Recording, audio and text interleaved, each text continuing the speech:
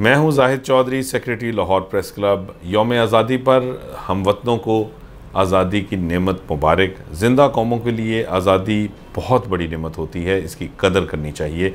और हमें इस योम आज़ादी पर ना सिर्फ़ जो है वो अपने परचम की सरबुलंदी जो है वो उसको जो है वो तजदीद अहद करना है, बल्कि इसके साथ साथ अपने परचम की हरमत का भी ख्याल रखना है।